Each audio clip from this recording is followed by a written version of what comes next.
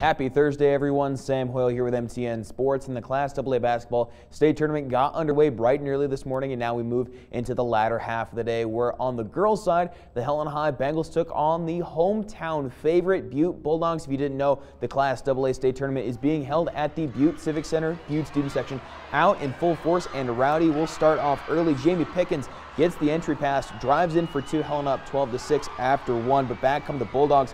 Brittany Tierney intercepts the pass, dribbles and drains the three. She had a team high 17 in this one. Now Paige Osved has answers for that. She spots up in the corner and buries the triple. Bengals take a 23-19 lead into halftime. Now out of the break, Allie Cleverly jumpstarts the Bulldog offense with a runner in the lane. Bulldogs down after three, though. They'd cut that Bengal lead to five, but Vanessa Walsh puts on the brake, says check your ankles, and uses the glass on the jumper. Bengals win 56 to 44, and now we find out who they play against in this next one. It's Helena Capital and Great Falls.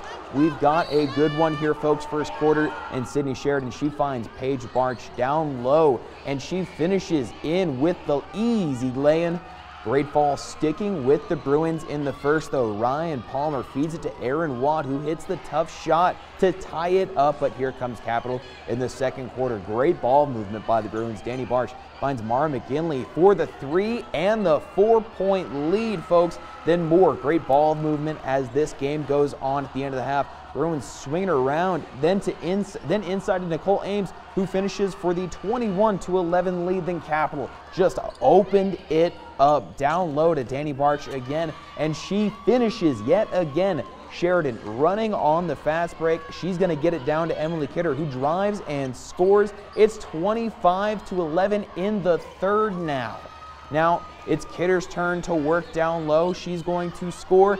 And then it's to Megan or sorry, yes, that is to Emily Kidder down low. She scores Capital having their way. They go up by 16. Then Sheridan running the fast break again, finds Barch again.